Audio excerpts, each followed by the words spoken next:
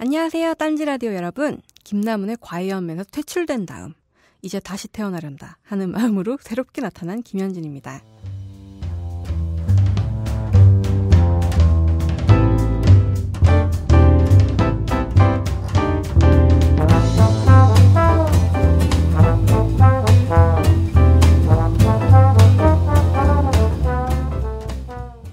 그러면 이번 방송에는 얘가 뭘 하려고 그러나 옛날에는 저는 글로 미운 놈 하나 걸리면 양파 까듯이 야기죽 야기죽 까대는 게 좀 좋았어요. 그거를 어느 정도 잘하기도 했던 것 같아요. 근데 이제 제가 연령으로 치면 어엿한 기성세대가 되가다 보니까 이제는 까대는 게 재미가 없어요. 재미가 덜해요. 아주 없는 건 아닌데. 근데 아무리 놀리고 바보 취급하고 조롱거리로 만들어봤자 정말 요만큼 한 주민 우리끼리만 재미있고 실리는 저쪽에서 다 가져가 버리잖아요. 단적인 예를 들어볼게요. 내가 죽어라고 놀리는 어떤 정당의 득표율하고 내가 늘 투표하고 심지어 나 같은 가난뱅이한테서 월 얼마씩 정당비까지 뜯어가는 정당의 득표율을 봤을 때 저는 세상의 구조가 정말 이해가 안 갑니다. 그래서 이제 놀려대는 거 말고 좀 알고 싶어요. 내가 이해할 수 없는 사람들을. 내가 전에 이해할 수가 없어서 비꼬고 야기죽대고 이런 거 말고는 정말 할 게 없던 사람들을 이제는 좀 알아보고 싶어요. 이 사람들이 진짜 괴물인가? 아니면 나랑 다른 피가 흐르나? 근데 이 좁은 한반도 남녘 땅에서 그럴 리는 없겠죠. 그래서 우리 딴지 라디오 새로운 프로그램에서는 이 팟캐스트에 정말 우리가 뭔가를 배울 수 있을 것 같은 사람, 혹은 야, 이 사람하고 딴지 라디오는 정말 너무 안 어울려. 합성하냐? 이 정도로 저 사람은 우리하고 너무 다르다. 이런 대담한 섭외를 우선으로 해보겠습니다. 그러면 우리 사이에 거리감을 좀 좁히거나 아니면 우리가 이해할 수 없는 사람들이 밥 먹고 살고 있는 비결이라도 슬쩍 배울 수 있을지 모르죠. 그 대표적인 캐스팅으로 오늘은 아닙니다만 지금 조갑지 오빠 대기 타고 계세요. 저 섭외 전화 넣으면서 느꼈어요. 그는 진심으로 대하면 통하는 남자라는 것을. 그래서 도대체 이 방송의 제목을 뭘로 할 거냐. 처음에는 장난으로 김현진의 오빠들을 하려다가 급진지 먹었어요. 그래서 김현진의 맹장전. 오케이, 뭐, 좋아요. 섭외됐어. 제목 지었어. 근데 제가 두개골은 튼튼한데 뇌세포가 좀 없잖아요. 사실 제가 얼굴은 이쁜데 머리에 든 게 없다. 이런 말이 말이죠. 글 써서 먹고 사는 여자한테는 인생 최고의 찬사예요. 평생 한 번이라도 들어보고 싶은 말이거든요. 근데 제가 모 유명 논객분한테 정말 진지하게 그런 말을 들었어요. 데미지가 상당히 크더라고요. 그래서 이번에는 시작부터 뇌를 외주로 돌렸습니다. 나에게 필요한 건 지장이야. 용장은 내가 하겠어. 그래서 누구를 모셨냐? 진보 언론에 관심이 조금이라도 있으신 분은 아마 이분 이름 다 들어보셨을 거예요. 바로 노정태 씨입니다. 아주 파릇파릇할 적에 딴지일보 필진이셨던 적도 있고 여러 매체에 글을 선보이고 또 공저를 합치면 여러 권의 저서를 지닌 탁월한 칼럼니스트. 또 다양한 경력 있으세요. Foreign Policy 한국판 편집장. 또 아, 10만 시간을 했는데 나는 왜 이렇게 사나 하는 좌절감을 저에게 안겨준 아웃라이어 또 기적을 이룬 나라 기쁨을 이룬 나라 같은 책에서 아주 유려한 번역 솜씨를 선보이셨고요. 강준만, 진중권, 유시민부터 홍세화 고종석까지 몇 안 되는 진보 논객들을 쫙 아우르는 논객 시대 같은 책을 쓰기도 하셨어요. 인상이나 목소리는 굉장히 부드러워요. 근데 트위터나 매체에서 이건 좀 까야 되겠다 싶은 걸 발견하면 뭐 AK처럼 다다다다다다다 일격 필사를 하셔가지고 아 저는 아 저래도 뭐 구속이 안 되나 이러면서 좀 무섭기도 해요. 저는 소심해서 SNS 안 하잖아요. 트위터가 한 최근 5년 동안 유행하면서 제가 알고 있는 몇 안 되는 사람들 중에 트위터하고 안 망한 사람이 없는데 그 중에 안 망한 거의 유일한 사람인 것 같아요. 제가 감히 이름을 붙이자면 부드러운 전략가 혹은 부드러운 철학가 이러면 어떨까? 저희 방송 시사국장으로 제가 거의 강제로 납치해 왔습니다. 저희가 녹음 분량이 몇 개 있는데 그 녹음을 하면서 이분은 야, 이 선택은 2015년 나의 신의 한 수였다. 네 머리가 나쁘면 남의 머리를 써라. 이런 여러 소회를 하게 해주셨어요. 노정태 부장님 안녕하세요. 아, 예, 안녕하세요. 예, 딴지에 도대체 얼마 만이신 거예요? 딴지에 제가 같이 일을 한 거는 거의 한 10년, 아니 10년 더 됐죠. 그러니까 아... 고등학교 졸업하자마자 네. 대학교 입학을 하고 나서 그 직후에 한 5월쯤에 그러니까 2001, 2001년이죠. 2001년 네. 5월쯤에 그때 온라인 필진을 모은다 뭐 이런 공고가 떴어요. 그래가지고 네. 심심하니까 또 이제 대학생 초년생의 어떤 객기가 있잖아요. 그래서 뭐 이 얘기 뭐 이제 해도 되겠지. 그러니까 그 네. 당시에 이제 이제는 말할 수 있다. 이런 네. 네. 이력서를 보내라고 하는데 이력이랄 것도 없잖아요. 근데 네. 이력서를 보내라는데 그 이제 거기에 조건 중에 하나가 그러니까 신체 노출이 많으면 많을수록 가산점이 있음 뭐 이런 그 당시에 딴짓스러운 어떤 그 유머 코드가 담겨 있길래 네. 저는 이제 그때 그때 집에 이제 스캐너가 있었거든요. 그러니까 제 돌 사진을 스캔을 해서 돌 사진. 네. 아니 100% 노출 사진이잖아요. 그러면은 돌 사진을 스캔을 해서 보냈습니다. 그랬는데 네. 나중에 연락이 와가지고 예 이게 오라는 거예요. 가- 가서 이제 같이 술 먹으면서 최연소 온라인 필진으로 아. 참여를 했었죠. 네. 그러다가 한 2002년 넘어서 3년 뭐 그쯤 되니까 이제 제가 그때 들어갔던 편집부 분위기도 많이 좀 이렇게 달라지고 망가지고 뭐 이러면서 흐지부지 됐어요. 흐지부지 되고 저는 이제 제 나름의 인생의 경로를 막 살아오다가 한참 지나서 2015년에 갑자기 김현진 씨로부터 연락을 받고 오게 되었습니다. 예, 얼결에 그러니까 합류하게 되셨는데 사실 네. 처음에 제안하셨던 거는 아직 그 아이템은 까긴 좀 그렇잖아요. 근데 이제 그 아이템을 제안을 하셨는데 제가 그거 말고도 이런 종류의 다양한 섭외를 하고 있다라는 얘기를 네. 들으니까 저 스스로 욕심이 좀 많이 생기더라고요. 왜냐하면 조갑제와의 인터뷰라는 것은 사실 네. 모든 글 쓰는 쪽에 어떤 있다 생각하는 저널리즘 젊은 예. 남자들의 로망 중에 하나입니다. 왜냐하면 젊은 네. 조갑제는 정말 굉장한 인물이기 아. 때문에. 네. 그러니까 그런 걸 들었을 때, 야, 이거는, 근데 이 사람은 절대 섭외가 안 된다. 왜냐하면 세상에 대한 그 공포와 불신에 가득 차 있기 때문에. 야구 배트를 머리맡에 두고 주무시는. 예, 그러니까요. 네. 그런데 그걸 끌어낼 수 있는 사람이 누구냐?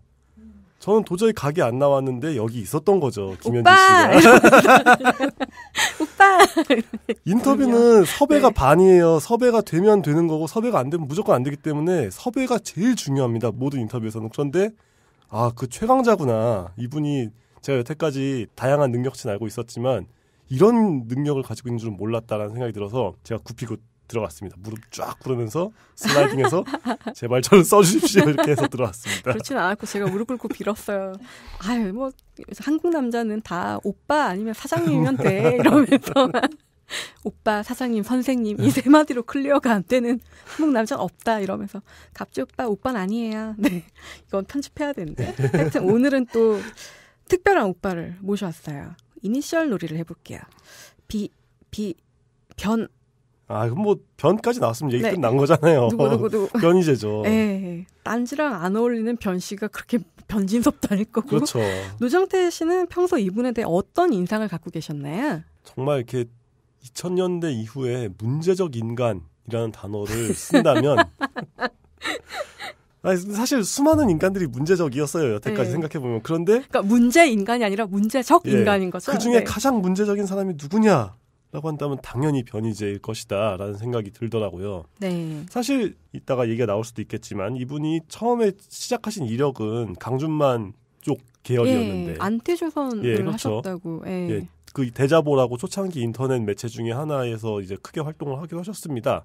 그랬는데 어느 날부터 갑자기 이렇게 이렇게 이렇게 되더니 지금은 보수 쪽에서도 사실 그렇게까지 환영해주진 않는 보수의 아이콘 음, 그렇죠. 예. 네. 좀 이렇게 굉장히 독립적인. 예 뭐 좋게 말하면, 말하면, 네. 독립적이고 나쁘게 말하면 사방팔방 충돌하는 독고다이가 되어 있는 것 같기도 하고 네. 또 뭐 강용석과 더불어 대한민국 고속의 양대 산맥이죠. 네. 예.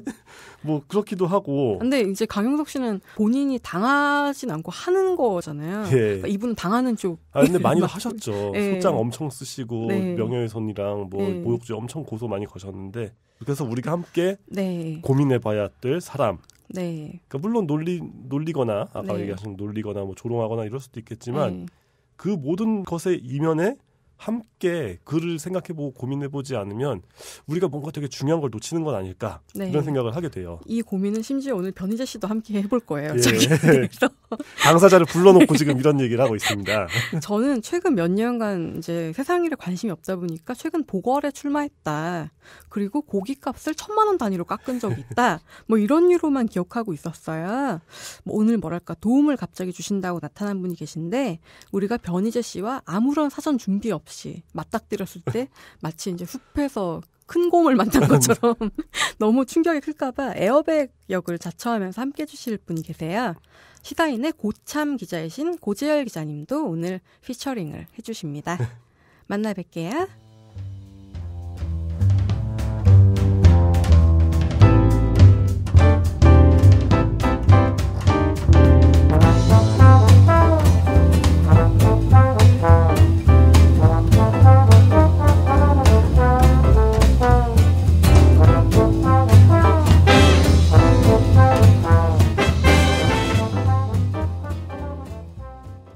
보수계의 아이돌 변희재 씨를 모셨습니다.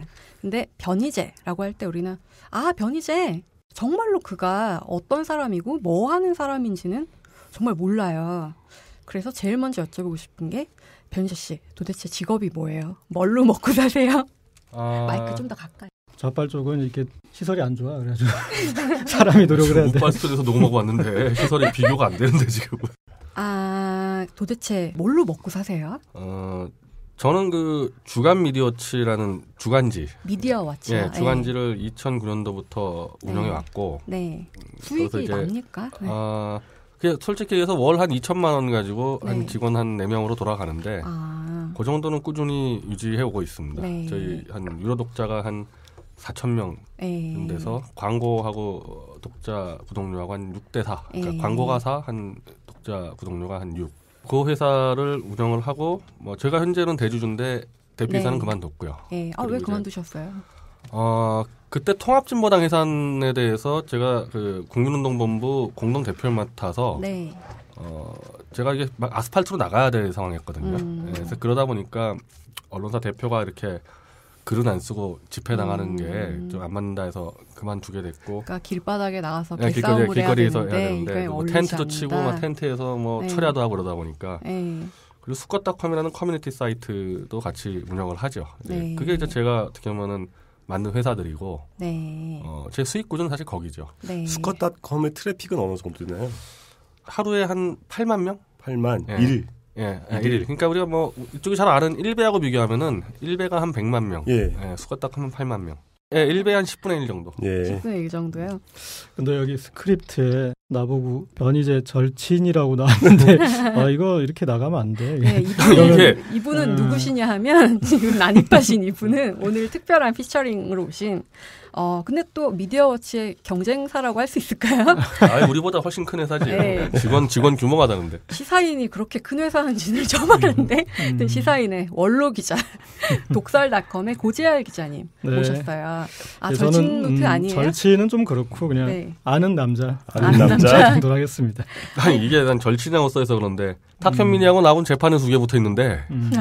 절친이냐 아니냐가 사실은 법적 쟁점이에요. 친구인지 아니냐가. 아, 탁현민이랑 둘이 어, 내가 둘의 관계에 대해서는 네. 내가 맺어준 사이라. 네. 근데 절친을 만들기에는 좀 실패한 것 같은데 나는. 파국을 아니 절친을 만들기엔 실패한 정도가 아니라 소송하고 있으면 뭐 그러니까 이혼 아니 처음에는 뭐 모른다 그러더니 이제 재판 가게 되니까 이제 모욕죄다 보니까 이제 아. 탁현민이 나에 대한 모욕한 거 되니까 이제 이제 재판 가서는 뭐 친구끼리 그런 말도 못하냐. 음. 아. 아 그럼 처음부터 친구라 그러던지 처음에 모른다 그러다가 음.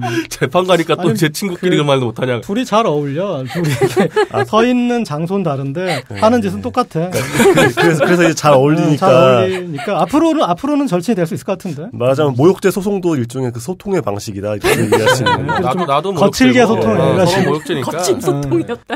한 10년 전부터 알았어요. 그러니까 아. 10년 전이니까 고, 고재열 기자 나 나는 한 20대 후반에 30대 초반 그때 네. 2004, 5년도 한 6년도까지 예.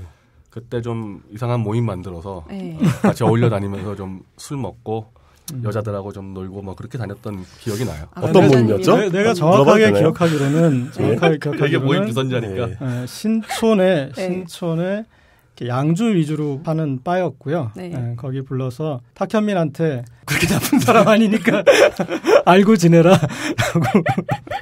아니 아니 그그 모임은 고재열 기자가 예. 좀 젊은 그룹 한번 모여보자 해서 이렇게 음. 만들어서 저도 제 후배 좀 데리고 가서 예.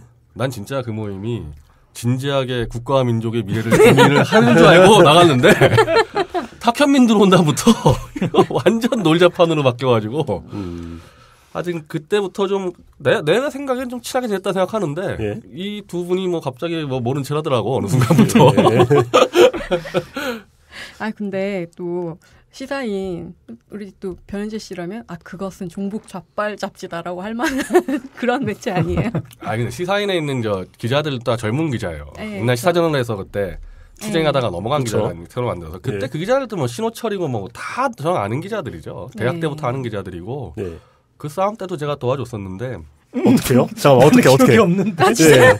아 지금 지금 쌍방의 말이 달라요. 아이, 어떻게 도와주셨는지. 말씀해 보세요. 그 당시에 시사인에서 그때 이제 논객들이 네. 그때 시사인 젊은 기자들하고 이 오너인가 뭐 CEO인가 금창 금창태인가 그 싸움 나가지고 사장하고 음, 논객이 빠지니까 음. 새 논객을 막 모집하려고 하려고. 그래서 제가 네. 그 직접 그 사장한테 전화 받았을 때 오, 음. 아, 이 젊은 기자들하고 사장가 먼저 푸셔야지. 음. 제가 돈 쓰면 됩니까? 오. 그래서 네. 내가 고 기자한테 알려줬더니 뭐 음. 명예 전당에 이름을 넣어주겠다 이러고 이것도 모른 체 하잖아요. 이 뭐- 배신의 정치 아니에요? 아, 저, 저기 기억을 기억이 안 나겠지. 좀 리셋해버려가지고 기억이 안 난다. 리셋 전의 일이었구나. 음, 아 그거는 정말 훌륭하지. 그러니까 우리가 뭐 이쪽 저쪽에 있지만 그래도 좀 뭐 정도를 지키는 부분은 또 저는 인정을 시사인 해줘야죠. 창간 때 이제 원고 청탁을 받아가지고 음. 계좌번호를 물어보시길래 원고료 음. 제가 이제 아 저 원고료 안 받아도 되니까 이거를 투쟁 기금으로 써주세요. 와, 그러니까 훌륭하다. 정상 처리하기 귀찮거든요. 몇 분 되지도 않으니까 그냥 받으시죠. 아유 지금은 시사인 유료 유료 독자가 ABC 보니까 뭐 5만 명, 6만 예. 명 넘어가더라고. 시사인이- 주간 주간지 1위인가 그렇대요. 회사 얘기 계속 나오면 나 힘들어져. 아. 그치. 아. 자꾸 회사 얘기를 하게? 변희재 만나고 다니냐고. 시사인은 그냥 이제- 저한테 뭘 맡긴 적이 없기 때문에 저는 이제 그런 아름다운 추억이 없습니다만. 네, 아 저도 그냥 별로 아름답지 않대. 얼마나 그- 무안했는데. 음, 오늘은 그냥 독설닷컴 개인으로 그냥 네. 하겠습니다. 알겠습니다. 근데 오늘 이렇게 딱 뵈니까 아까 이제 딴지일보 여자 기자분들이 되게 놀랬어요. 생각보다 되게 멋있으시다고. 근데 저도 딱 뵈니까 어 되게 등발도 좋으시고 일단 키가 네, 키가 음, 건칠하시죠? 키가 기럭지가 있죠. 몇이세요? 이제 184입니다. 예, 이 한국 남자들은 키가 크면 자신감이 솟아나요. 하여튼 되게 풍채가 그러니까 예, 나도 좀 이렇게 위에 있는 공기는 어떤 맛인지 궁금해. 하여튼 생각보다 되게 멋있으셔서 음. 좀 놀래고 있습니다. 그런 말 많이 들으세요? 왜냐하면 이제 이 문제 같은데 제가 주로 진중권 씨랑 많이 부딪혔잖아요. 한 예, 그렇죠. 10년간. 네. 근데 진중권 씨가 좀 체구가 작잖아요. 네. 그러니까 둘이 막 싸우는 이 스타일이 비슷하다 보니까 네. 주로 진중권 씨를 연상하고 아. 여기도 자꾸 이럴 줄 알았는데 네. 직접 만나면 주로 이제 키 얘기를 많이 하죠. 아, 아. 이렇게 클 줄 몰랐다. 네. 이글 쓰는 스타일 보면 작아 보이는데 아, 그러니까 진중권 씨와 논쟁을 하면서 이미지상으로 손해를 봤다. 이렇게 해석을 해도 되는 거죠. 지금, 지금 말씀하시는 게. 진 교수님과의 논쟁에서 본인의 이미지상 손해가 있었다. 아니 이- 좀 스타일이 이득을 않아요. 아니 전반적으로 뭐 꼭 그 언론의 보도를 떠나서 좀 집요하게 간 부분이 있으니까 제가 그럼 좀 네. 집요하면 음. 좀 작지 않나 그런 이미지들을 좀 갖는 것 같아요. 음, 키큰 거에 비해서는 싱겁지는 않죠. 예. 쪼잔하다 이거지 등치에 비해서. 네, 이번에는 선거에 직접 출마까지 하셨는데 어떻게 소감이 어떠십니까? 어, 피 봤죠. 피 공탁금 봤는데. 공탁금 안 아까우세요? 음, 아니 근데 공탁금 아까운 정도가 아니라 네. 아 제가 사실 대학 시절에 네. 그러니까 대학 때 뭐 좌파했다가 뭐 우파 전향했 이게, 이게 말도 안 되는 얘기고 제가 대학 때부터 존 스튜어트 밀 전도사였어요. 그러니까 음, 저희 미학과하고 서울대 인문대가 주로 그 당시 신좌파 예. 네. 뭐 푸코니 뭐 데리다니 뭐 알튀세르니 이런 거 공부할 때 나는 그 아무리 공부해도 이게 안 와닿더라고요. 도대체 이 사회에 뭐가 필요한지를 예. 막 찾다가 찾은 게 존 스튜어트 밀하고 아담 네. 스미스를 찾아서 그 중에도 전 존 스튜어트 밀하고 더 좀 맞더라고 내 생각이나 네. 주로 관습을 타파하고 개인의 자유를 중시 여기고 근데 이분이 나이 60에 넘어서 주로 네. 정치 철학만 연구하다가 나이 60 넘어서 영국 상원의원에 출마하는데 네. 네. 이 출마 공약이 첫 번째가 지역구에 예산 가져오지 않겠다. 음, 그리고 두 번째가 선거 운동하지 않겠다. 음. 이두 가지 공약 들고 나가서 당선이 됐어요. 우와. 그러니까 이게 1800년도 한 중후반에 영국의 이른바 정치 수준을 보여주는 거거든요. 이제 그게 이른바 보수주의 혁명인데 저도 사실은 이걸 어렸을 때 너무 강렬하게 느낌을 받아서 그 선거라는 게 사실은 통합진보당 해산 때문에 출마하게 된 건데 네. 통진당 해산했는데 통진당 그 사람들이 또 나온다는 거예요. 뭐 네. 저는 이정희 대표가 나올 줄 알고 나갔는데 네. 이상규 이상규 음. 후보가 나왔죠. 이상규 후보하고 부딪히려 놨는데 뭐 전혀 뭐 통진당 얘기를 안 해서 네. 저한테는 개인적으로 이게 나간 의미가 없어져 버렸어요. 이게 나가서 아. 부딪히려고 그랬는데 네. 안 부딪히니까 네. 근데 적장이 안 나오고 그 혼자서 허공에 칼질했는데 예. 그, 그 칼질이 뭐였냐면은 통진당에 산다니까 제가 볼 땐 여야 똑같은 이 기회주의파들 그러니까 음. 지역 주민들을 속이고 그냥 당선만 돼가지고 실제로는 국회 이익만 늘려버려서 제 생각엔 내각제까지 갈 거라고 봤거든요. 그리고 음. 지금도 그렇게 가고 있다고 봅니다. 이제 현장 들어가서 막 떠들고 다니는 거죠. 이제 주로 여당에서는 어, 정부의 힘을 빌려서 예산 폭탄을 퍼붓겠다 관악에다가 음. 야당은 박원순 서울시장의 힘을 빌려서 서울시 예산을 퍼붓겠다. 예산 폭탄인데 제가 볼 땐 둘 다 말이 안 돼요. 그건 성립이 안 되는 현실 가능성이 없는 얘기를 가지고 유권자를 속이니까 이 지역 예산 폭탄론 이거 다 거짓말이고 가져올 수도 없으며 가져와도 안 된다. 이러, 이러다 보니까 지역 주민들 들을 때는 아니 이 자식이 갑자기 들어오더니 지역 개발을 막겠다 여기서 자꾸 이렇게, 이렇게 몰리더라고요 이 부분이 음. 물론 뭐 그것 때문에만 참패한 게 아니라 여러 가지 이유가 있는데 예, 그것 때문은 아닌 예, 것 그것 같아요. 때문은 아니고 여러 가지 이유가 있지만은 주민들은 이 자식이 돈 끌어올 의지가 없네. 그걸 막겠다고 이제 네. 깃발 들고 있으니까 네. 야 그래서 저는 그 생각을 했어요. 그래도 투표한 유권자 중에 10명 중에 한 명 정도는 네. 그래도 1800년도에 존 스튜어트 밀을 당선시킨 영국의 그 국민들 정도 생각을 하겠지 했는데 아 이- 이렇게 힘들구나. 네. 어, 물론 그거 말고도 많아요. 어, 네. 그렇게 된 이유가 상당히 많지만은 네. 어, 젊었을 때 생각했던 부분하고 아주 안 맞는 부분이 있구나 현실적으로. 음. 이제 네. 그러면서 아까 그 공탁금 여기가 여기에 적혀 있는데 예. 공탁금이 아까운 게 아니라 이런 선거는 좀 제가 볼 땐 좀 벤처형 실험적 선거인데 네. 제가 후원금을 거뒀습니다. 제 돈도 한 3천만 원 가까이 쓴 것 같아요. 예. 개인 돈을. 근데 후원금이 한 7천만 아까워. 원인가? 어, 거쳤어요? 예, 예, 저희 독자 위주로 이제 예. 독자분들이 있으니까 아, 조직이. 독자분들 굉장하시네요. 네. 충성도가 높네요. 예. 근데 이제 끝나고 나니까 네. 야 공탁금 아까운 걸 떠나서 야 이런 개인적인 벤처 선거는 그냥 내 개인 돈으로 다 했어야지. 물론 개인 돈 다 한개 3천만 원입니다. 그, 예. 어, 야, 후원금 걷어서 들어갈 선거는 아니었구나. 음. 그래서 이게 이게 그 계속 빚으로 남더라고요 이 마음에. 마음에. 예, 네. 그러니까 공탁금은 뭐 국민 세금으로 들어가는 거니까 그렇지만 이제 후원 모아준 분들에게 참 미안하죠. 아무튼 그래서 선거 결과 토탈 1억 날렸다 이 말씀이시죠. 1억 정도 쓴 것 같아요. 예. 음. 제가 한 가지 이제 말씀을 드리고 싶은 거는 존 스튜어트 밀 시대에는 국민 전체에게 투표권이 없었잖아요. 여성 아, 그 투표권도 당시 아마 없었고. 영국에서 여자 없어요. 예, 부르주, 겁니다. 부르주아만 가지고 있었으니까 그러니까 이제 그러한 종류의 것이 가능했는데 지금은 어쨌건 이제 대중민주주의 시대니까 당연히 이제 관악 구민들의 지역 사회의 이해와 부합하는 얘기를 해야 되지 않았을까요? 근데 이게 헌법상 국회의원 의무에 모든 판단은 국익 전체를 위하게 판단하게 돼 있지 지역 대표한다는 얘기는 전혀 없습니다.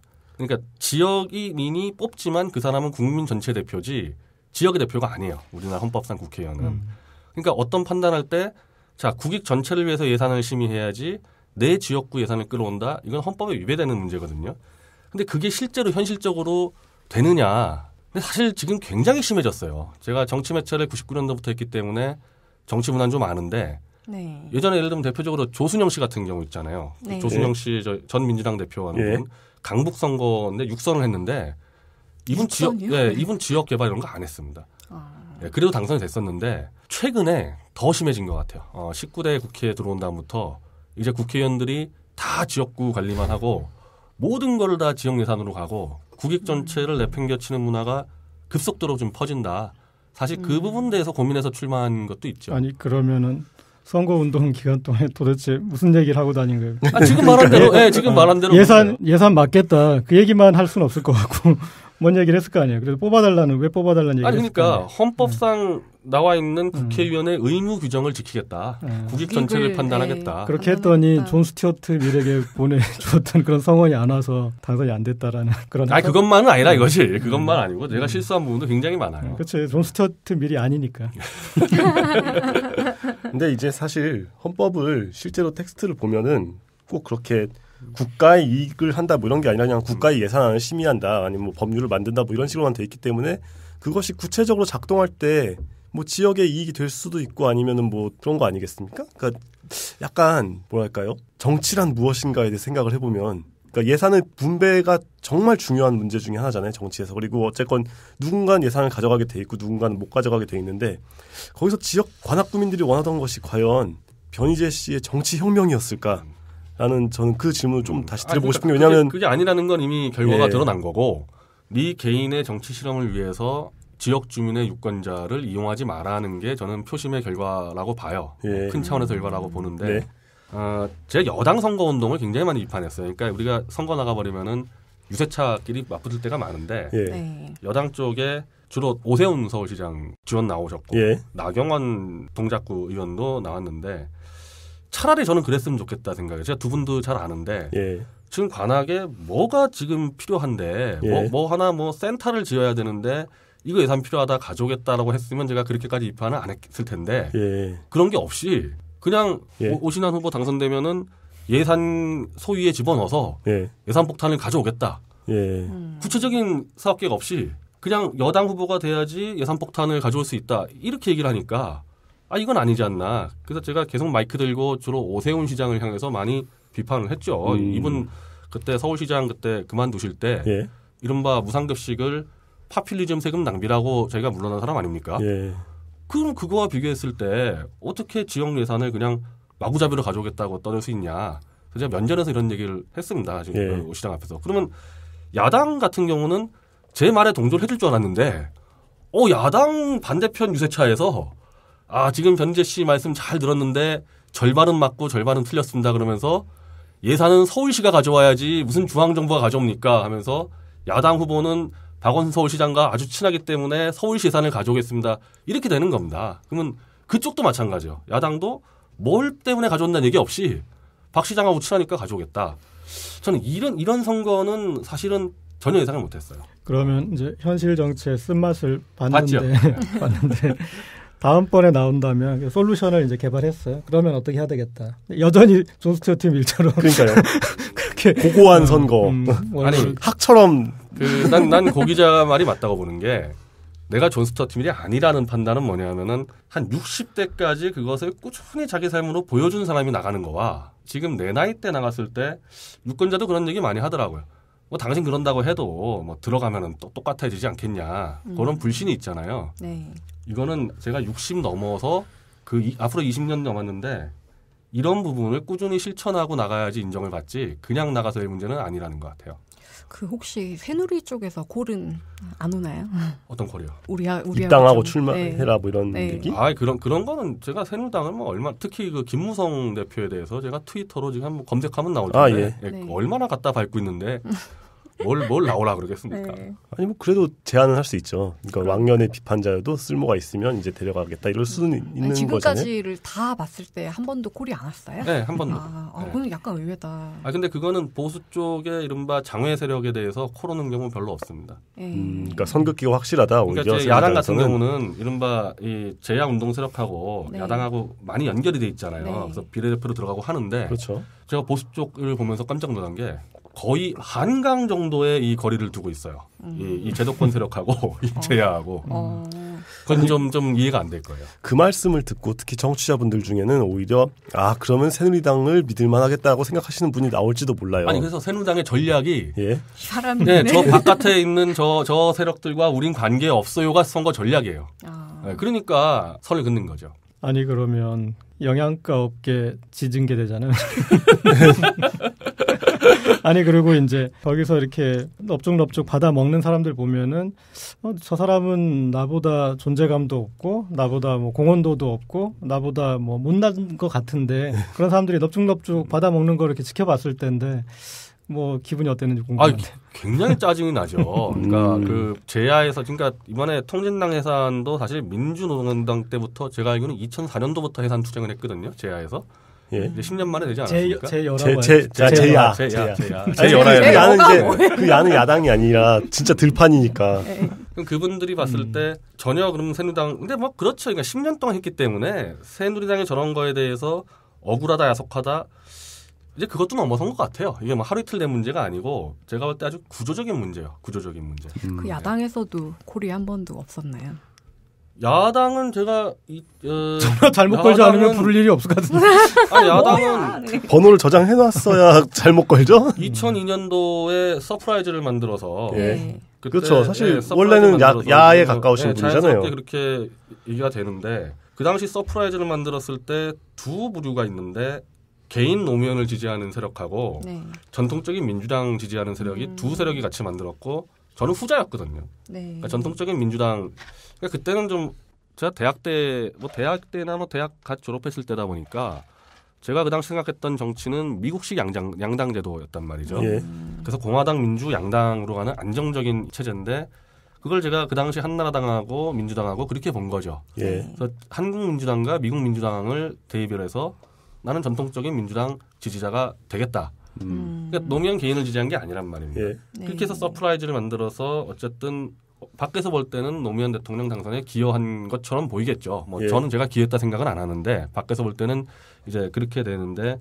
그때 이제 분당이 돼 버리지 않았습니까? 2003년도 음. 5, 월부터 그렇죠. 분당이 예. 되니까 저는 민주당 지지자다 보니까 분당과 노무현 대통령의 탈당은 잘못됐다고 했을 거 아니에요. 음. 그럼 남아 있는 민주당 쪽으로 되니까 당연히 노무현 정권 때 하루 아침에 또 제야 농객이 된 거죠. 음. 어, 여 농객이 아니라 순식간에 대통령이 탈당하면서 제야 농객이 돼버린 거고. 그럼 남아 있는 민주당하고 있을 때 그 당시 하나갑 대표가 민주당 대표였는데 예, 그렇죠.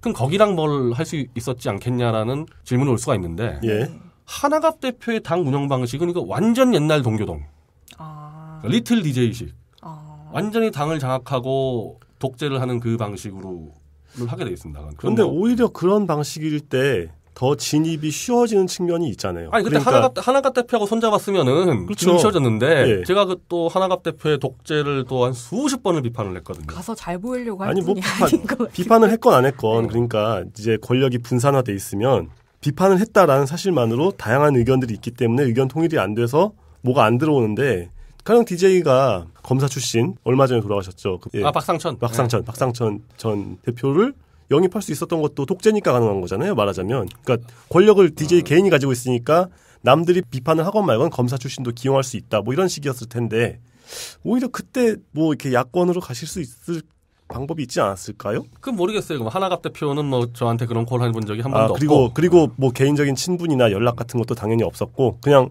비판을 했다라는 것은 그쪽의 리액션을 확인할 수 없는 인터넷 게시물이었다 이런 말씀이신 거죠? 아니 계속 하나갑 대표 물러나라고 비판을 했죠. 예. 네, 물러났고 뭐 그쪽에서 콜온건 없고. 예, 그러니까 이제 아. 아니면 직접적으로 아. 반응이 온 것도 없었고요. 아 여러 왔죠. 왜냐하면 그때 당시 민주당이 굉장히 소수파로 몰렸고 어려웠을 때 아니에요.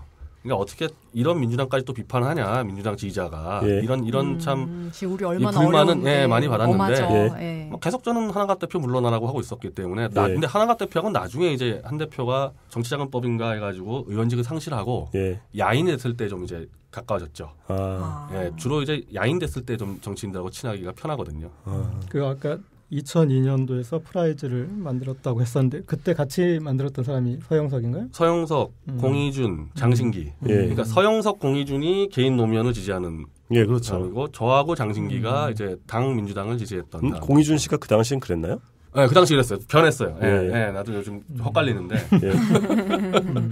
장신기 씨는 요즘에 뭐 하시죠? DJ 연구소 연구위원이죠. 음.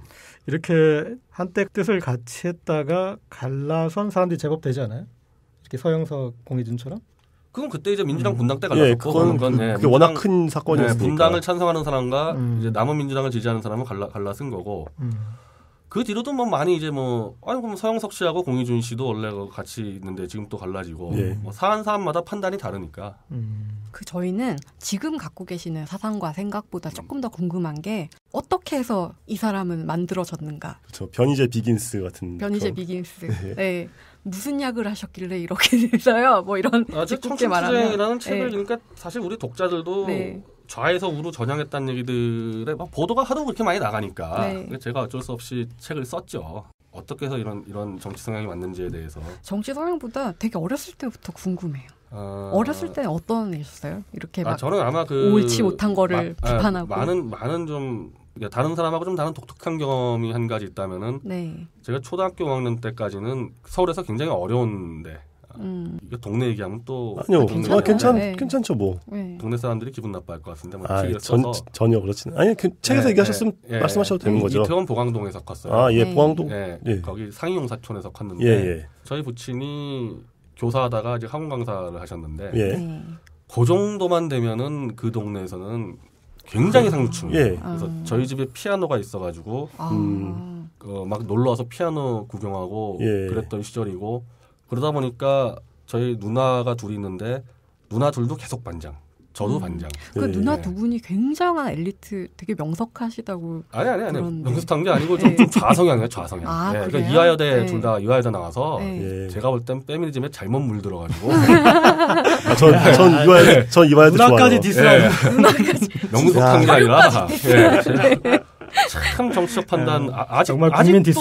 저 저분들 저 제가 알기로는 친노예요 우리 누나들 둘은 아직도. 음. 그래서 저하고 정치적 성이 다른데 예. 그러니까 어렸을 때는 어쩔 수 없이 계속 반장을 하고 저희 어머니는 육성회 활동을 하고 이렇게 예. 아. 될 수밖에 없었다고요. 아. 이제 그러면서 워낙 가난하니까 그 동네가 예. 네. 제가 반장을 할 때 그 학생들 중에 참 고아라 그래야 되나 하여튼 뭐안 좋은 부류 환경이 되게 많았어요 학생들이. 예, 예.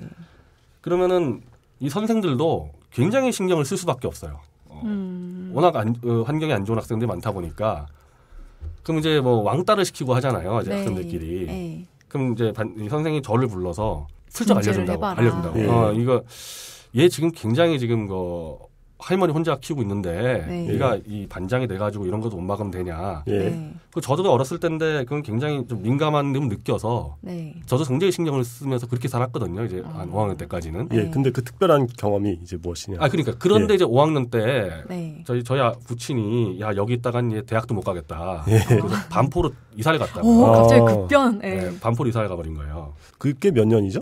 내가 5학년 때 이사 갔으니까 86년도인가 뭐 하여튼 어, 뭐 87년인가 예. 어 6년인가 그런데 예. 땅값이 확 오르기 전인가요? 오르기 직전일 거야 아마. 예. 네, 오르기 때를 직- 잘 예, 아니. 한창 올, 올라갈 때 그때 예. 했을 텐데 제가 반포 초등학교 가면서 너무 놀래버린 게 네. 보강 초등학교 있을 때는 어떻게 해서라도 애들의 신분이 들어가면 안 돼요. 애들이 아, 막뭐 키고, 가정 어, 환경 키고 그런다고 거. 네. 얘는 뭐 술집에 딸이 이거 막 캐고 네. 갔기 때문에 이거 막는 게 저희의 선생님이나 저 어. 반장 일인데 반포 초등학교 딱 갔더니 6학년 때 예. 이거 가정 생활기록부인가 아, 거기 부모님 직업적으로. 직업을 다 불러줘요. 어. 한 반에 한 명부터 60명까지 직업을 다 불러주는데 왜 불러줘요, 그걸?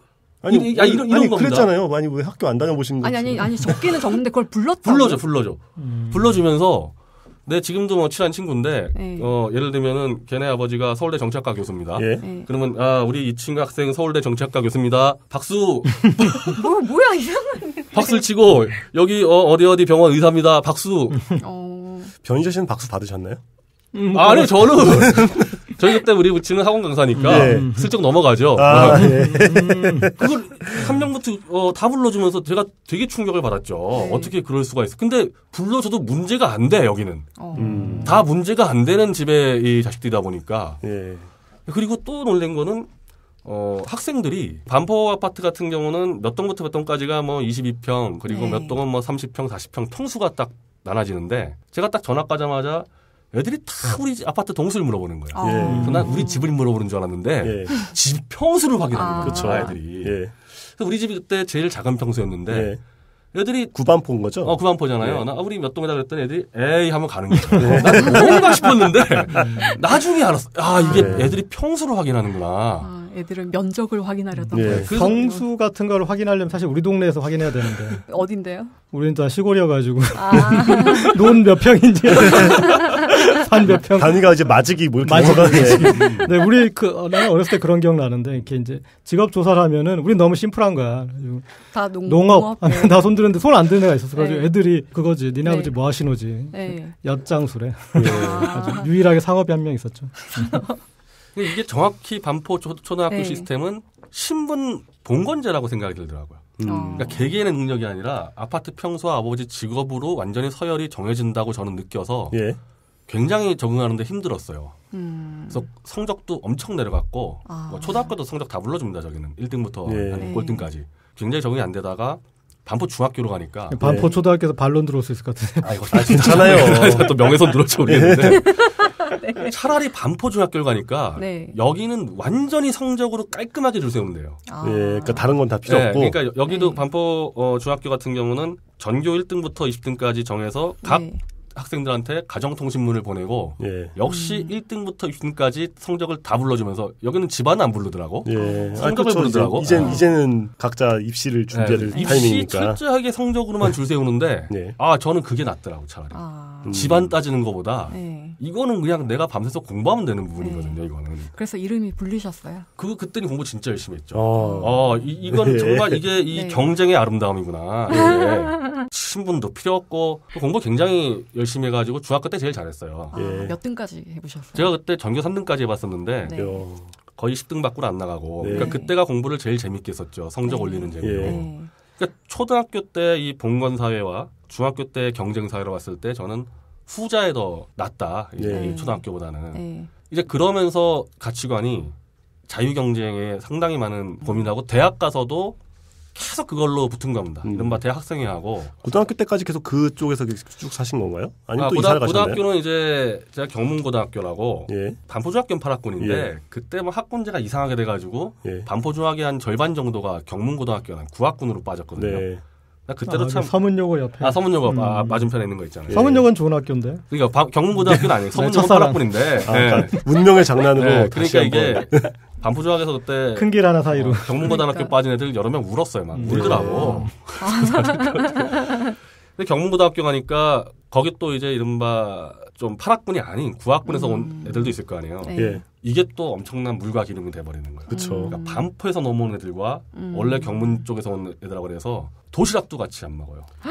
그때 변희재 씨는 이제 어느 편에 쓰셨습니까? 어, 누구랑 도시락을 그러니까요. 드셨죠? 네. 아니 저는 솔직히 얘기해가지고. 아니, 그러니까 그냥, 반포 출신인 것도 아니고 반포 예. 출신이 아닌 것도 아닌 상태잖아요. 그 상태에서 근데 이제 뭐 그땐 어떻게 중학, 중학 교 기준이니까 아, 그래요? 네, 반포 출신으로 규정이 되는데 왔다 갔다 했던 것 같아요. 예. 네, 왔다 갔다 했어요. 그때는 공부를 어느 정도 그때 많이 떨어졌죠. 예, 왜냐하면 그때 중학교 때 이렇게 막 하다 보니까 이게 고등학교에서도 이렇게 막 신문 가지고 왔다 갔다 해서 좀 스트레스를 받아서 예. 음. 그때는 제가 동아리 활동에 전념했거든요. 음. 어 무슨 동아리요? 저는 그때 시사 토론반을 만들어가지고 어. 아니, 직- 그때부터. 만든 네. 겁니다. 예. 그래서 토론 동아리를 했었고 문예반을 했었고 예. 문예반. 예, 풍물반을 했었고 동아리 세 개를 하다 보니까 아. 성적 많이 떨어졌죠 고등학교 때는. 네. 즐거운 학창 시절을 네, 동아리 하느라고. 네. 여자친구는 없으셨어요? 중고등학교 때? 아 전혀 없었습니다. 우린 남자 남자 네. 요거 음. 어, 아니 왜 거기 서문여고? 서문여고 보내면 서문여고가 머리를 기르고 다녔던 학교예요. 아. 어. 지금 저희 김현지 씨 그 길이만큼도 기를 수가 그 있어요. 이경희 대표가 서문여고 나왔잖아요. 아 예. 그래요? 네. 문예반에서 우리가 서문여고랑 같이 이렇게 조인트도 하고 했었는데 예. 그때 단체 미팅을 한번 20대 20으로 한 기억이 나요. 서문여고하고. 네. 20대 20. 네, 저 예술의 전당에서 형 예술의 전. 그래서 막 수건 돌리기 하고 막 했었는데 네. 그때 굉장히 재밌었던 건 기억나는데 누구랑 뭐 한번 해보겠다는 거안 하고 되게 재밌더라고 수건 돌리기가 아 수건 돌리게 전념하면 안 되는데 그게 한 40명이 남자 20명 여자 20명 40명이 단체 미팅 해가지고 수건을 돌리면서 수건 그 와중에 서로 눈을. 맞추라는 얘기인데 수건 돌리기에 전념을 하면 그때 아마 집중해 버렸어. 예. 걸려가지고 그때 막 그 주도에는 애들 막 얻어맞고 했었는데 예. 나중에 이제 그거가 재밌다 보니까 대학 가서 미팅할 때 좀 짜증이 나더라고. 아, 왜 수건을 안 돌려? 아, 그러니까 뭔가 좀 절박한 게 없잖아 대학 미팅은. 고등학교 미팅은 절박해요? 절박했죠 그때는. 아니 그래요? 20명이 하는데 뭐가 절박해. 그러니까 뭐 절박해요? 치열하잖아요. 이 감시자가 있고 이게 하면 안 되는 짓인데 아, 하고 있을 때 예. 아니 그 그리고 그때는 술을 마음껏 마셨어요. 고등학생 고등학생이 우리가 교복을 입고 그러니까 제가 동아리를 하다 보니까 그 동아리 선배들이 와서 술을 사다 보니까 이 네. 음주 문화가 퍼져서 네. 제가 또 우리 학급에도 좀 퍼뜨렸거든요 음주 문화를. 예. 그래서 시험 끝나면 교복 입고 한 20명 나가서 술 마시는 거예요. 예. 음. 그럼 거기에 이상한 좀 막걸리 집이 있었는데 예약을 해서 네. 그 먹고 들어와도 선생들이 뭐라 우리 선생이 또 술을 좋아하다 보니까 네, 그래서 밤새 먹고 아침에 가고 그랬었어요 고등학교 어. 때는 근데 그렇게 하- 하다 보니까 대학 가서 제가 좀 미팅을 한다거나 술 마시는 부분에 대해서 좀 싱겁다 그러나 음. 대학에서 좀 적응이 안 됐죠 오히려 인- 오히려 인생의 즐거움을 고등학교 때 네, 고등학교. 네, 고등학교 때가 훨씬 더 진지했고 예. 우리가 시사 토론반 토론할 때도 훨씬 더 진지하게 토론했고 음. 내가 대학 들어가서 이 학회 토론하는 거 보고 이건 도대체 난 내가 볼 때 고등학교 때보다도 더 진지하게 공부를 안 하고 토론 안 하고 그래서 술을 마셔도 그때 좀 뭔가 좀 이렇게 교복 입고 막탁 마시는 거와 예. 서울대 녹두거리에서 그냥 막 퍼놓고 마시는 거랑 너무 재미가 없더라고. 교복을 입어서 맛있는 게 아니었을까요? 아 그랬던 것 같아요. 예. 근데 아마 그 그리고 몇 년 뒤에 이제 고등학생이 못 먹게 되니까 예. 아마 바뀌었을 텐데 대학 1학년 바뀐 때가 게 아니라 원래 법은 안 되는 건데. 아, 우리 때 아무 문제가 없었으니까. 예. 대학 대학 1학년 때가 제가 참 적응하기가 쉽지 않았죠. 고등학교 때 그렇게 진하게 놀았으면 음. 별로 재미없겠다. 우리 구학군 지역엔 다 가능했어. 아 진짜. 아니 고기장 어디 나왔었지?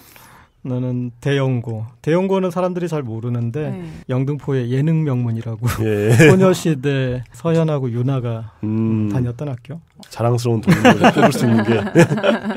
그런 음. 문제 의식을 좀 갖고 대학을 들어가니까 이제 저는 사실은 고등학교 때 문예반을 하면서 진짜 좀 난 인문대학을 가면 네. 문학과 철학과 이런 거 가지고 정말 치열하게 공부하고 이럴 줄 알고 미학과에 갔는데 예. 네. 깜짝 놀랐어요. 와 공부를 안 해.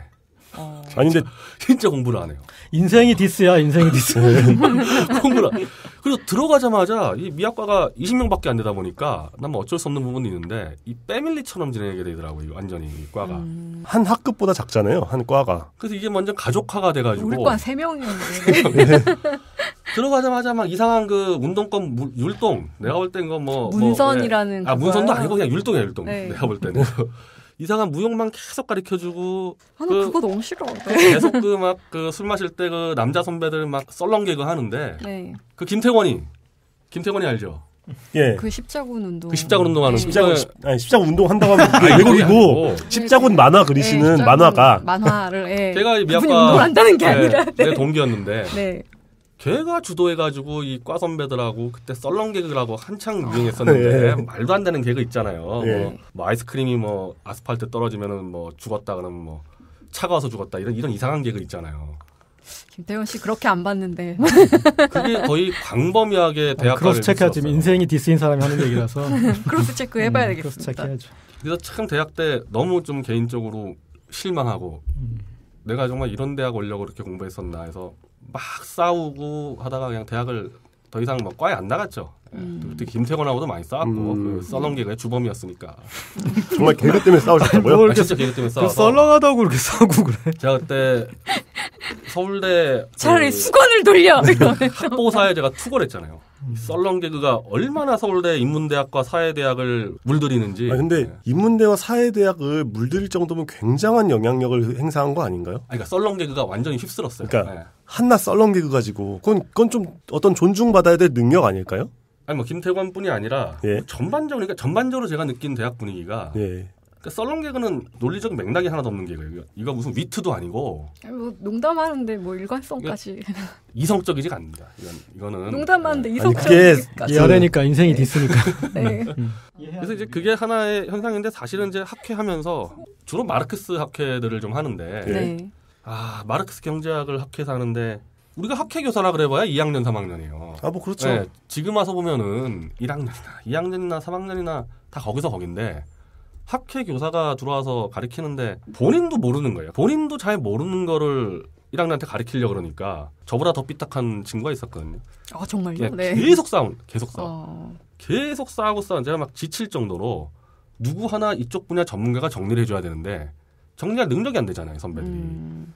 이래가지고 무슨 학회를 하냐 그래서 학회 깨고 그냥 그때부터 다시는 이제 이른바 좀 운동권하고 싸움을 시작한 거죠 학회 깨고라는 게 정확히 어떤 행위를 하신 거죠? 동신당 해산 같은 아, 그런 회사. 아니 그때 네. 그러니까 그 학회 하는 그 선배들도 제가 싫었고 예.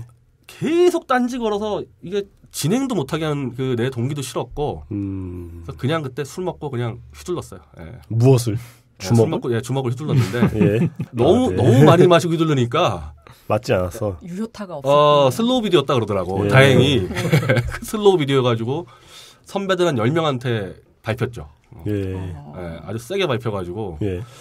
다음 날 일어났는데 입안에 다 헌 거야 음. 왜 그러나 나는 기억도 안 나는데 아, 맞아서 그, 입안이 네, 맞아서 입안이 뭐 거군요. 허- 허리고 네. 뭐온 것이 다 멍투성이고 네. 뭐 여기 또 깨물었다 그러면서 누가 물었냐 그랬더니 내 여자 동기가 깨물었다 그러더라고 그래서 맛있어 보였나 보네. 뭔가 이렇게 야수를 잡는다는 느낌이었을 것 같은데 사람들이. 네, 이제 그, 그러면서 야 이제 난 여기 내 미학과 음. 있으면 안 되겠다. 딴 데 가자 그래서 소설학교로 이제 날라가고 이제 더 이상 이제 과나 이런 데 안 가고. 근데 그거 하나로 제가 도움 받은 거는 고등학교 때 술버릇 굉장히 안 좋았거든요.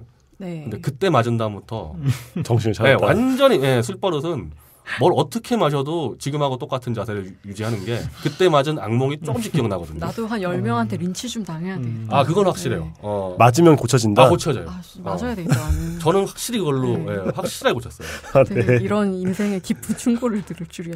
정태 씨한 그게- 아홉 명만 모아주세요. 네. 그게 일종의 터닝 포인트였다고도 왠지 생각이 되는 것이 그- 그... 러면서 대학으로부터 거리를 두기 시작했고 음. 그리고 지금도 술버릇을 고칠 수 있을 정도의 어떤 트라우마를 제공을 받은 거잖아요. 예, 그들에겐 또 어떤 뭐 그들에게도 트라우마가 됐을 수도 있겠지만 아니 그들에겐 트라우마 없어요. 당황을 아니, 아니. 내가 우리가 옛날에 변희재 밟았다 이, 이러면. 이쯤에서 고지 네. 광고 하나 해야 될 것 같아. 그때 네. 그 변희재를 때려가지고 바꿔주셨던 분들 지금 한 번만 우리 더 모이죠. 뭐 예. 저는 개인적으로 고마워합니다. 예, 거기서는 앙심이 하나도 없고. 진짜 한 번도 음. 소집해서 음, 그러니까. 그게 네. 1학년 때? 1학년, 1학년 때. 1학년 때 때 대동제 때 5월. 대동제 때요. 아 그럼 참 5월이면 입학한 지 두 달 세 달. 했어요. 예, 두 달. 참 폭풍 같은 일들이 있었군요. 두 달 동안. 지금까지 살아온 걸 그냥 한 문장으로 요약하면 나 빼놓고 다 못 났어야. 음, 좀 인생이 디스야 지금. 아니 저도 여쭤보고 싶던 어, 게 계속 살면서 들어보자고. 좋았던 사람이시죠. 그러니까 어. 존 스튜어트 밀을 존경한다고 하시는데 정작 그 사람 9년을 친 말고 삶의 양태는. 만인에 대한 만인의 투쟁 상태에서 홉스적인 세계관을 본인 몸으로 경험을 하고 계신 것 같고 존 스튜어트는 이제 군대 갔다 와서 제가 공부한 건데 음. 예. 아니, 제가 얘기했던 부분하고 그, 뭐 똑같지는 않지만 어, 그분도 비슷한 이 고민들을 했더라고. 하여튼 계속 좀 디스 좀 더 해봐야죠. 예, 아, 아직 그, 럼 군대는 군대 언제 가시는. 거예요? 음. 원래 그러면 이제 2학기에 군대를 가게 돼 있잖아요. 그런 일을 저지르면. 어, 근데 이제 카투사 시험을 치다 보니까 예.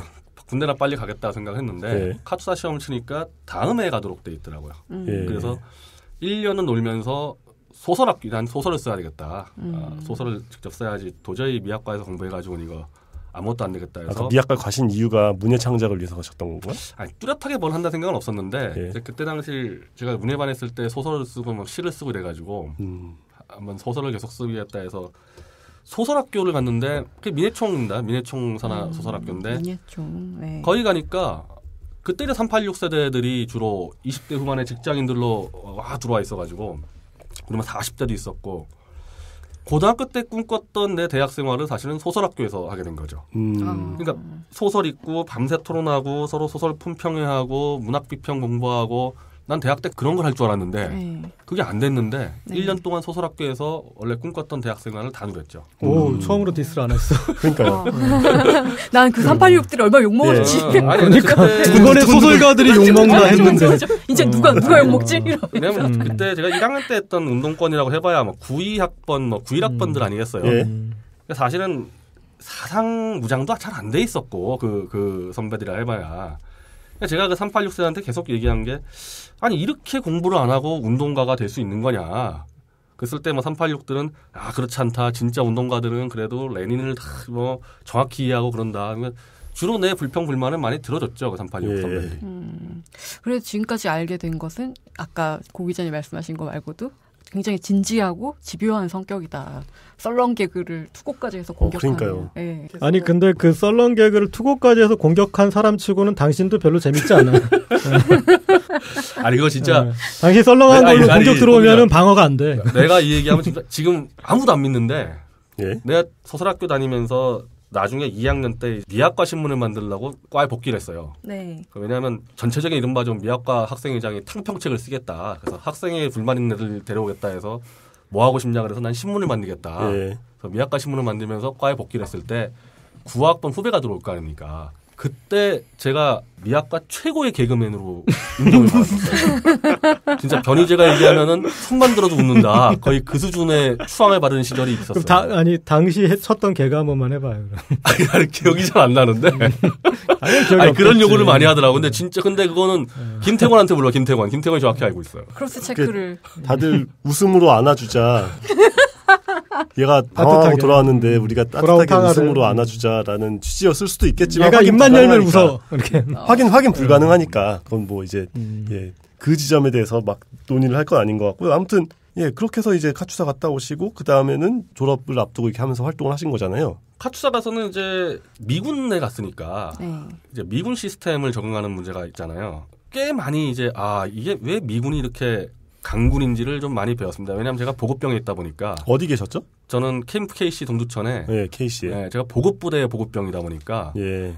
미군은 이제 보급이 거의 전력의 절반인데 한국군 같은 경우만 하더라도 우리 같이 연합작전 나가면은 보급이 없어요. 미군은 예를 들면은 최전방에 들어간다 했을 때 우리 같은 보급병들이 샤워장을 안 들고 가면은 난리가 나요. 음. 그러니까 최전방으로 걔들은 샤워를 해야 됩니다. 음. 그래서 그 보급을 하면서 야, 이 미군 시스템 굉장히 합리적이네. 그리고 거기서 이제 성폭력 문제도 저희 섹터가 이제 성폭력 다루다 보니까 예. 굉장히 깔끔하게 해결하는 그 시스템도 보고 음. 그래서 많이 배워서 대학에 복학을 할 때 야, 우리 좀 인문대나 미학과에도 좀, 좀 선진 시스템을 좀 보급을 해야 되겠다. 음. 그리고 이제 그때 IMF 때다 보니까 복학할 때 난 당연히 이제 그 좀 철없는 운동권들이 약화됐을 거라고 보고 이걸 이제 한번 제대로 만들어 보겠다고 딱 들어갔는데 98학번 때 예. 미학과에 20명 중에 무려 16명의 여자 신입생이 들어오고 남학생 4밖에 없었거든요. 예. 근데 이 16명이 결국 서울대 페미니즘의 이 주역들이 돼버렸는데 그들하고 또 어마어마하게 싸우게 된 거죠. 졸업할 때까지. 제- 제 여자 후배들하고 거의 전쟁을 거의 이건 뭐 사투를 벌였죠, 사투를. 사투까지? 네. 진짜 사투를 벌였어요. 네. 아까 잠깐 우리 뭐 데이트 간간 얘기했지만은 아니, 이른바 데이트 폭력, 데이트 폭력. 아, 음. 이 서울대 내 성폭력 사건. 그러니까 제가 카투사에 있을 때 그 성폭력 문제를 다뤘기 때문에 그러니까 정확히 무슨 보급병이 할 리가 아니 저도 카투사 나왔기 네. 때문에 카츠사 오, 보급병이 성폭력 나도. 문제에 아. 아 진짜요? 리가 아, 없잖아요. 그게 이제 여러 가지 이제 그 업무들이 분산이 되는데 예. 우리 S4 보급 부대가 예. 성폭력 클래스를 담당했어요. 아 성폭력 네, 성폭력 클래스를 클래스를. 그러니까 우리가 클래스를 담당하다 보니까 예. 각종 사례들을 다 이제 보고하게 되잖아요. 이제, 예. 이제 강의를 준비하고. 그리고 실제로 우리가 해결을 합니다. 그 부분에 대해서. 음. 이 사고가 터지면은. 아니 근데 도대체 군대에서 어떻게 배웠길래 맨날 그런 성폭행 가해자만이 그렇게 실드를 치지? 아니 그러니까. 그래서 그러니까요. 아니, 그러니까. 미국, 제가, 미국 제가 시스템이- 미국이 미국 시스템이 그렇지가 않거든요. 아니, 그러니까 내가 이제 우리도 그거- 가추사 나왔어. 예, 저기 전 아니, 근데- 전원이 가주셔. 아, 지금 여기 군필자는 다 카츠사 나온 네. 거죠, 그러니까. 예. 그거를 다 그- 그- 갖추셔야. 그- 그 성폭력을 안 해봐서 그런데 다뤄보면 알아. 다뤄보면은 성폭력을 안 해서 그러니까 어, 지금 아니, 되게 아니 아니, 너무 너무 심하잖아. 성폭력 아니, 안안 해봐서 달아봤- 아는데 아니. 안 다뤄봤다 이거지 사건을. 이거 해본 사람처럼 얘기해. 어, 사건을 다뤄보면은 음. 근데 그 당시 내가 처음 들어갔을 때는 내가 이제 미국식 카투사식 해결 방법 얘기하니까 이제 페미니스트들이 굉장히 공감을 해서 음. 그러다 보니까 제가 많이 자문을 하게 되고 인문대에서도 몇 사건대에선 제가 비대위원장도 하고 이렇게 해결을 했는데 이게 하다 보니까 너무 달라 이 성폭력 유행 유형이 이 신고가 들어온 유형이 미군의 경우는 거의 99%이 계급의 문제로 들어옵니다. 그러니까 남자 상관이 여자 하관에게 성폭력을 가했을 때 발언을 못 하는 거죠. 이 계급의 문제 때문에. 그래서 그걸 전제로 많이 해결하는데 제가 봤을 때 이 인문대 내에서의 성폭력이라는 거는 동기들끼리 밤새 술 퍼먹다가 같은 자취방에 들어가서 자다가 술김에 만지고 도망가고 걸리고 거의 이거예요. 이거 거의 이 유형이 거의 안 벗어나요. 내가 내가 접수한 건 내에서는. 음. 예, 뭐 그렇. 그러면은 치고. 그러면 거기 있을 때 그러니까 주로 거부 의사 표시냐 동의 의사 표시냐 가지고 이제 페미니스트들이 많이 논, 이 논쟁을 하잖아요. 예. 그걸 이제 거부 의사 표시라 그러면은 여자가 거부를 했을 때 또 하면 성폭력인데 이걸 동의 의사 표시라 그래 버리면은 동의 없이 만지면 성폭력이다. 이게 굉장히 문제가 되는 거예요. 이 case by case 따지면은 서로 자기가 남자 입장에서는 서로 좋아서 만졌는데 다음날 여자 생각이 바뀌어서 이놈 하게 되면은 걸리니까 이건 아니다. 잠깐 한 번 잠깐 그러니까 첫 번째 한 번 만진 건 안 치는 거예요? 근데 그거는 의사 타진인 거예요? 첫 번째 아니, 만진 서로 거는? 눈빛으로 하는 그런데 제가 그러니까 요 부분은 제가 있을 때 제가 한 가지 사건이 걸린 거예요. 그러니까 이게 네. 큰 사건이 벌어진 거예요. 이걸 제가 고민하고 있을 때 이른바 서울대 성폭력 조작 사건 의혹인데 물론 법적으로는 다 다 이제 남자 쪽이 패소했기 때문에 그것도 이제 제 과 후배고 여자가 함부로 얘기하기는 어렵지만은 제가 당시에 판단은 이런 사건이었단 말이에요. 여자가 그 남자를 좋아했어요. 1년 동안 따라다녔어.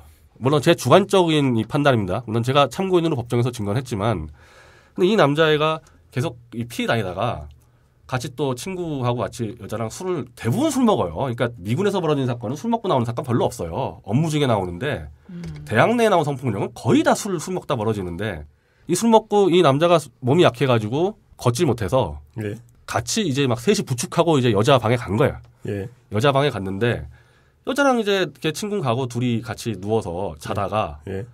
누가 먼저 건드렸던 게 쟁점이 있어요. 둘밖에 모르는 부분이에요. 누가 누가 먼저 했는지는 자기들끼리 말이 엇갈리는데 어쨌든 좀 터치가 있었다. 어, 성관계는 없었고 어, 예. 좀 터치가 있었다. 그래서 다음 날 남자가 일어났는데 술이 깬 거죠. 제가 볼 때 여자는 아 드디어 내가 이 좋아했던 남자가 내 마음을 받아들였구나. 그래서 아침 식사를 막 준비하는데 이 남자는 야 이거 큰일 났다.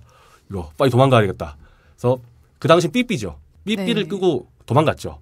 도망가니까 여자가 연락이 안 돼. 바로 그 다음 날 저녁 때 성폭력 신고가 들어간 겁니다. 그래서 이거 가지고 뭐 조작이니 뭐니 어찌 막 가는데 그 과정에서 정말 도저히 납득할 수 없는 그 조치들이 뭐 제가 구체로 설명 안 드릴게요. 이거 이거 뭐 너무 복잡하니까. 그래서 그거 가지고 투쟁 투쟁 투쟁 막 싸우는데 그게 대부분 저희 미학과 여자 후배들이 주로 페미니스트 이 조직이 있다 보니까 제 후배들과 전쟁이 벌어진 거죠. 그 문제 가지고. 그래서 졸업하고 나서도 1년간 더, 더 싸우다가 아, 참 안 좋게 이제 대학을 졸업하게 돼서 저는 그때 이제 이른바 페미니즘이라는 부분에 대해서 굉장히 비판적 의식을 갖고 또 하나는 페미니즘이 아닌 일반 좌파에 대해서도 이거 분명히 진실을 따져야 돼, 어, 따져야 될 문제를 음. 단지 페미니스트가 옹호한다 그래서 입을 다물어라. 진중권 씨가 대놓고 그렇게 했습니다. 여자들이 주장하면은 그냥 입 닥치고 들으면 된다. 이게 과연 최소한 진중권 예. 씨가 예전에 그런 아, 말씀하셨나요? 그, 예, 그런 말씀했습니다. 예, 아. 여자들이 그냥 주장하면은 입 닥치고 들면 되지, 뭐 따지지 마라. 이게 제가 한겨레 신문도 찾아가고 여러 군데 찾아갔었거든요. 다 그런 식으로 얘기합니다. 이건 아니다. 사실관계는 최소한 따지고 억울한 피해자는 구해줘야지 하나의 도구마로 되는 건 안 된다. 그래서 결사적으로 싸우면서 사실은 그때부터 사실은 이른바 좌익과의 전쟁이 시작이 된 거고 저는 미학과 동창회에 전화 한 통 받은 적이 없습니다. 졸업을 한 이후. 근데 그 당시의 문제를 우리가 이제 사실의 문제와 또 인식과 해석의 문제로 나눠서 생각을 할 수 있겠지만 이제 지나간 문제여서 근데 변희재식 인식법을 우리가 이제 요즘 사건으로 좀 다시 끌어와서 보자면 그러면 새누리당 심학봉 의원 사건 아, 이제 탈당을 했구나 전 예. 새누리당 아, 심학봉 근데- 의원 사건 어떻게 봐요? 아, 일, 일단은 지금 제가 같은 사건은 피해자가 성폭력을 당했다고 주장을 해도 다 따져야 된다, 맥락을. 저는 그 주장인데 음, 지금 심학봉 쪽 피해자가 성폭력을 당하지 않았다고 주장하고 있잖아요. 말이 바뀌었죠. 말이 바뀌지 음. 않습니까? 그러면 그건 뭐 볼 것도 없는 음, 거죠. 말이 다시 바뀔 수 있잖아요. 그러니까 의원의 윤리에 대한 문제니까 약간 별개로 생각을 할 수가 있을 것 같고 그렇죠 이제 성폭력이냐 아니냐부터 쟁점이 되기 시작하면 그걸 우리가 성폭력 사건이다라고 논의를 하는 게 좀 이상하잖아요. 그러니까, 그러니까 그쪽에서 정리가 될 때까지 성폭력 사건이다라는 전제 하에서 논의를 하는 게 좀 부질없는 얘기가 되는 거고요. 그러니까 의원 윤리 차원에서 어쨌건 본인이 탈당을 했으니까 이제 그건 그 문제는 별개로 넘어가고 아무튼 이제 인간 변이제의 이야기에서 그런 거네요. 그러니까 대학에 들어와서 3월에 입학해서 5월에 학회 선배들한테 맞고 다굴이라고 그러죠. 예, 다구리 당하고 네. 그리고 군대 갔다 와서 이제 후배들한테 여 후배들한테 페미니즘으로 다구리를 당해서 말다구리 이제, 말다구리 예, 예, 그렇죠. 그래서 이제 결과적으로 대학교에 들어와서 변희재의 삶은 독서 클럽 말고는 소외와 방황과 만인에 대한 1인의 투쟁으로 점철되어 있었다 이렇게 생각을 할 수 있. 그렇죠. 그러니까 그, 있겠죠? 그 때 제가 존 스튜어트 밀을 찾게 된 거죠. 그러니까 내가 지금 판단하는 게 맞는가 안 맞는가에 대한 굉장히 좀 고민을 힐링이었구나. 네. 많은 존 경우 스튜어트 밀을 제가 찾은 거죠. 많은 경우 취향 따라 많이 좀 차이가 나겠지만 그런 경우 남자들이 보는 책이 이제 뭐 무협지라든가 좀 더 쉬운 책들을 많이 보면서 거기서부터 이제 정신의 위안을 삼지 않나요? 설령 철학책을 본다고 하더라도 뭐 니체라든가 감정이입이 쉽고 정신적으로 확 고양시켜주는 그런 책들을 주로 택하게 되는 경향이 있는데 제가 뭐- 볼 때는 왜 하필 밀이었죠? 아 그때 왜 그랬냐면은 존 스튜어트 밀 같은 경우가 이제 이 이렇게 얘기를 하는 건데 설사 100명 중에 99명이 저거 맞다 그래도 단 한 명의 지성과 양심으로 이거 아니라 주장하면은 이 사람의 목소리는 널리 알려줘야 된다. 그러니까 전체주의와의 싸움이에요. 존 스튜어트 밀 같은 경우는. 예. 그러니까 제가 계속 그 고민했단 말이죠. 서울대도 그렇고 그 당시 제가 이제 지금은 좌파 언론이라 그러고 그 당시는 진보 언론 그랬는데 오마이뉴스 한겨레 제가 계속 찾아가서 이건 아니지 않냐 얘기했을 때 돌아온 답은 아니다. 여성단체가 주장한 건 맞다. 전체주의에 대한 고민이다 보니까 그러니까 이런 거는 변희재 씨가 나는 단 한 명의 지성이다. 이런 아니 네. 최소한 내가 알고 네. 있는 그 성폭력 해결하는 지식과 내 양심 봤을 네. 때는 이, 이 남학생은 이건 그렇게 매도하면 안 된다는 그 목소리를 내는데 음, 이 목소리를 내는 내 행위가 맞냐 안 맞냐를 존 스튜어트 밀의 저작물에서 찾은 거죠. 음. 아, 저 주장을 200년 전에 한 사람도 있었구나. 네. 그런데 이제 그 사건 하나만 짚고 넘어가자면 이제 법률적인 판단에 그 사실관계에서 어, 변 대표가 재구성했던 대로가 아니었던 거잖아요. 그렇죠. 응. 사실 법률은 그렇게 판단했잖아요. 그 법률은 남자가 음. 삐삐를 끄고 도망간 이유가 아 나는 얘를 좋아할 마음이 없는데 얘가 밥상을 차리고 있으니까 부담스러워서가 아니었을 그러니까 수도 있다. 예, 그런 그게 여러 문제죠. 가지 가능성 중에 변 대표 시나리오 하나 이었을 수는 있지만 결과적으로 그건 아니라는 게 증명된 거지. 게다가 이제 음. 문제는 그건 정말 두 사람 사이에서의 감정적인 요소가 얽혀 있는 문제니까 어떻게 판단하기가 애매한데 문제는 이제 대학가에서 특히 대학가에서 중심적으로 있는 페미니즘이 한국 사회에서 여성의 발언권이 그 정도로 보장되는 경우가 사실 지금도 거의 없잖아요. 그러니까 요즘 대학가에서는 특히 이제 여학생에도 많이 줄어들고 막 그러다 보니까 그 당시 대학가에서 발언되는 여성들의 주장의 수위가 한국 사회의 스탠다드로 한번 맞춰지고 나면 변희재 씨 같은 음. 탄압받는 소수자 입장이 더 설득력 있지 않을까. 선우가. 바뀌었지. 그때가 2000년도나 그랬을 텐데 제가 한 가지 사례를 드릴게요. 우리 미학과 후배들이 농화를 갔는데 네.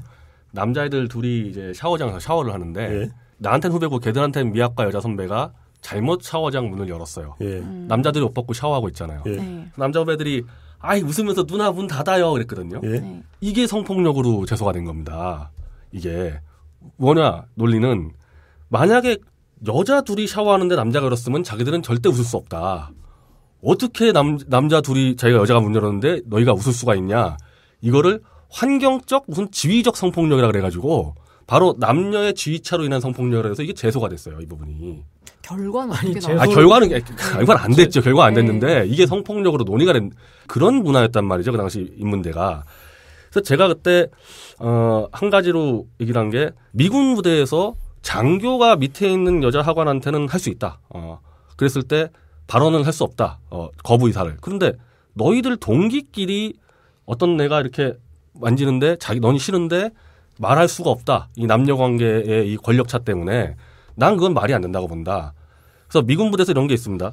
여자 장애인 성폭력에 대해서 제가 자료를 보니까 바로 여성 장애인에 대한 성폭력이 누가 뭘 대도 제대로 거부의사 표시를 못하기 때문에 계속 이런 훈련을 시킵니다. I don't like it, stop it 이렇게 해서 발언을 계속 시켜요. 그래서 내가 영어 좀 어설픈데. 아니 아니요 갑자기 헷갈려서 스탑 잇. 아 예. 아, don't stop이시면 계속 아, 하라는 아, stop, 거잖아. stop이 있는데, 그, 내가 그래서 서울대 그 여자 후배들한테 그랬어요. 너희들이 만약에 니네 남자 동기 정도가 이 손을 만지는데 그게 무서워서 거부 의사 표시를 못하면 장애, 미국의 그 장애 여성에 걸맞는 훈련을 받아야지 그게 말이 되냐.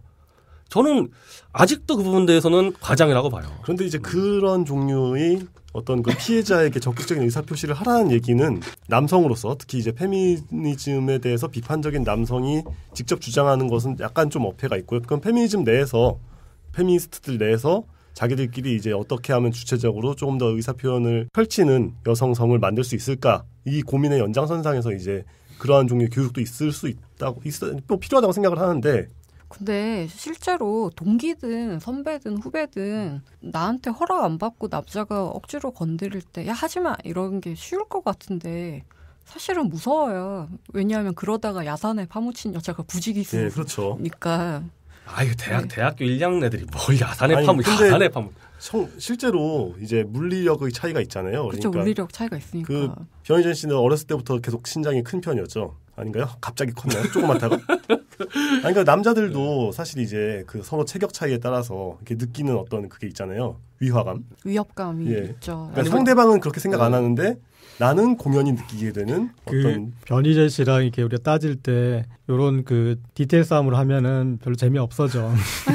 왜냐하면 당시 쟁점이 그거였는지에 대해서 알 길이 없죠. 알 길이 없어. 음, 지금은 네. 변희재 씨는 변희재 대표는 그게 쟁점이었다고 야구 주하는데 예. 그때 쟁점이 달랐을 수가 있어. 예. 음. 하여튼 제 말은 동기도 무섭다. 음. 예. 하여튼 뭐 저는 네. 그런 부분들 가지고 싸웠다. 예. 예, 여기서 뭐 그- 더 예, 더 그렇죠. 들어가면 수십 가지 사례를 들 수가 뭐 이렇게 있는데 해서 여기서 이렇게, 뭐 성폭력 쭉 거쳐서 이제 수컷 닷컴까지 예, 예. 이어지는 거니까 그냥. 음, 네, 여기서 맥락으로 보고. 그 고재열 대표님이 재밌는 분석을 해갖고 오셨어요. 변희재 10가지 장점. 그거를 한번 직접 음. 읊어주시죠. 2부에서 계속됩니다.